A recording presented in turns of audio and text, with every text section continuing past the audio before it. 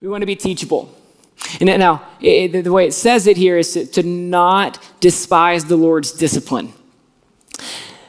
And I want to encourage you to, to, to expand your view of God's wisdom, that God's wisdom is going to include some discipline in your life. And I know that you don't love discipline because I don't know anybody who wakes up in the morning and is like, Dear Lord Jesus, I want discipline and I want it now, you know? No, he said, God, I want wisdom and I want it now. Eh, but one of the ways that God is going to get wisdom into us is he's going to he's to discipline us like as a father would to a child. He's, he's going to correct our path. He's going to steer us in a different direction. He's to he's to guide us to the right way and that discipline isn't always going to feel comfortable.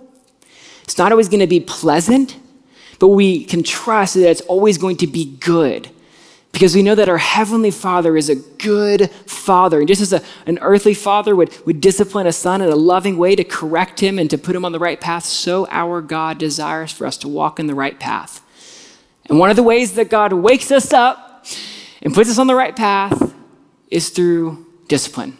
Jerry Bridges says it like this uh, The discipline of God is not to punish us, but is to transform us. The, the discipline of God is not to punish us. God's not trying to be punitive. He, this isn't God trying to be mean and angry, like, you need to get your life together. No, this is God's desire to transform us from the inside out so that we look more like Jesus. And the way that that's going to happen is when we're teachable. And we say, God, teach me wisdom. God, correct my path.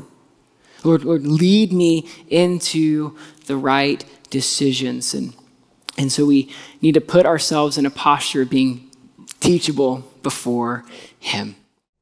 Hey, thanks for watching. To find out more about Houston's First, you can subscribe to our channel or you can go to houstonsfirst.org.